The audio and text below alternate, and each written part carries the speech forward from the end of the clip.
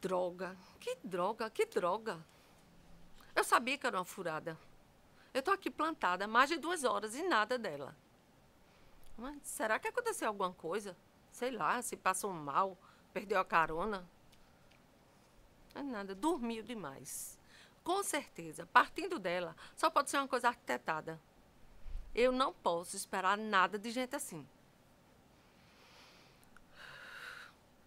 Oi, menina!